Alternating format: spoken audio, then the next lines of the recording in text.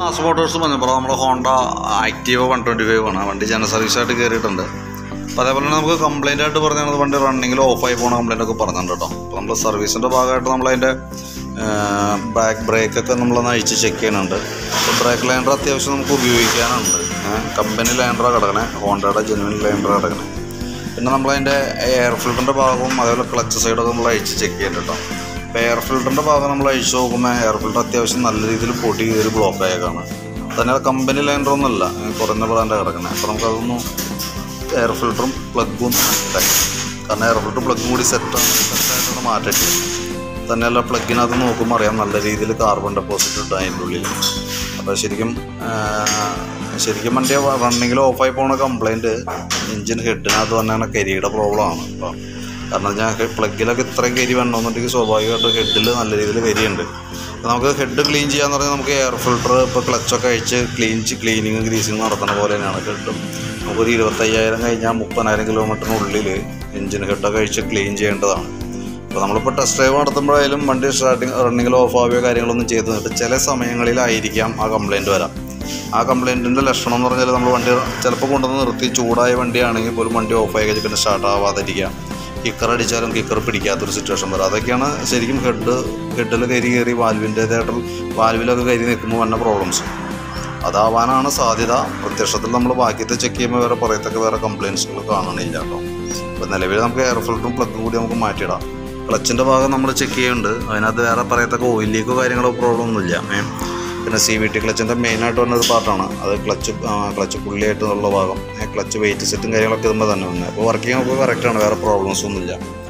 നമുക്ക് അതിന്റെ വേരിയേറ്റർ ബോഡിയും അതിന്റെ റോളറും വെയിറ്റും കാര്യങ്ങളൊക്കെ ഉള്ളത് നോർമൽ ഈ ബോസ് ഡ്രൈവ് ചെറിയൊരു പ്ലേ ഉണ്ട്. പക്ഷെ എന്നാൽ പോലും നമുക്ക് ഇപ്പോൾ അത് മാറ്റേണ്ട ആവശ്യമില്ല. റോളർ വെയിറ്റ് ഒക്കെ നോർമൽ നമ്മുടെ സാധാരണ ഉപയോഗത്തിന്റേതനുസരിച്ചിട്ടുള്ള തേമാനം മാത്രമേ ഉള്ളൂ ഇപ്പം. പിന്നെ നമുക്ക് ബെൽറ്റിന്റെ കണ്ടീഷൻ വളരെ മോശമാണ്. കാരണം പറയാൻ കാരണം എന്ന് വെച്ചാൽ ബെൽറ്റിന്റെ ഈ ഭാഗങ്ങളൊക്കെ ശ്രദ്ധിച്ചു കഴിഞ്ഞാൽ ബെൽറ്റ് എവിടെയൊക്കെ ഓൾറെഡി പൊട്ടിയിരിക്കുകയാണ്. അതുകൊണ്ട് ഫുള്ള് പൊട്ടിയിരിക്കണം അതായത് നമുക്ക് നെക്സ്റ്റ് സർവീസ് വരെ എന്തായാലും കിടക്കില്ല. കാരണം ഒന്ന് രണ്ട് പൊട്ട് വളരെ ഡീപ്പ് ആയതാണ് ഇവിടെയൊക്കെ പൊളിഞ്ഞൊടിഞ്ഞേക്കാണ് കേട്ടോ അപ്പോൾ ബെൽറ്റ് എന്തെങ്കിലും മാറ്റിയിടാം. അതല്ലെങ്കിൽ നമ്മൾ വഴിപ്പെട്ടു പോകും. പിന്നെ കിക്കറിന്റെ ഇതിനകത്ത് തന്നെ കിക്കറിന്റെ വീലൊക്കെ നമ്മൾ നയിച്ച് ഗ്രീസിംഗ് ഒക്കെ നടത്തി റീസെറ്റ് ആക്കിയിട്ടേക്കാം. ഓക്കെ പിന്നെ ക്ലച്ച് ആക്സിലേറ്റർ കേബിളും ചോക്കിന്റെ കേബിളൊക്കെ ആയാലും വേറെ പറയത്തൊക്കെ വേറെ കംപ്ലൈന്റ് ഒന്നുമില്ല. കാർബേറ്റർ നമ്മളൊന്ന് അഴിച്ച് ക്ലീൻ ചെയ്യാൻ പറഞ്ഞിട്ടുണ്ടായിരുന്നു. അപ്പോൾ അതുകൊണ്ട് കാർബേറ്റർ ക്ലീൻ ചെയ്യാൻ വേണ്ടി അയച്ചിട്ടുണ്ട് അപ്പോൾ അതിനകത്ത് കാർബറേറ്റർ ക്ലീൻ ചെയ്യണ സമയത്ത് എന്ന് പറഞ്ഞാൽ അതിന്റെ ഉള്ളിലൊക്കെ അത്യാവശ്യം നല്ല രീതിയിൽ കാർബൺ ഉണ്ട്. അപ്പോൾ നമ്മളൊരു ക്ലീനർ വെച്ചിട്ട് നല്ല രീതിയിൽ ക്ലീൻ ചെയ്തെടുക്കാം.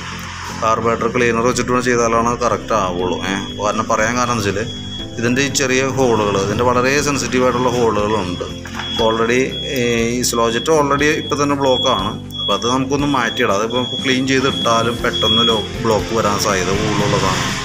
കാരണം അത്രയ്ക്കും ചെറിയ ഹോളാണ് അപ്പോൾ അത് നമുക്കൊന്ന് മാറ്റി പുതിയതിടാം. ഏകദേശം ഒരു എഴുപത്തഞ്ച് രൂപയ്ക്ക് നമുക്ക് നമുക്ക് കോസ്റ്റ് ഉള്ളൂ ബാക്കിയതൊക്കെ ഒന്ന് ക്ലീൻ ചെയ്തിട്ട് നമുക്ക് ഫുള്ളായിട്ട് ക്ലീൻ ചെയ്ത് റീസെറ്റ് ആക്കി എടുക്കാം. മാക്സിമം ടൂറിങ് കാര്യങ്ങളൊക്കെ ചെയ്തെടുക്കാം നമുക്ക്.